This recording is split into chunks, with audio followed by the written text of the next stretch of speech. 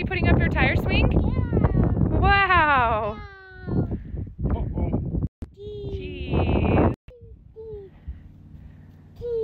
And yes, Fidel did make this by himself.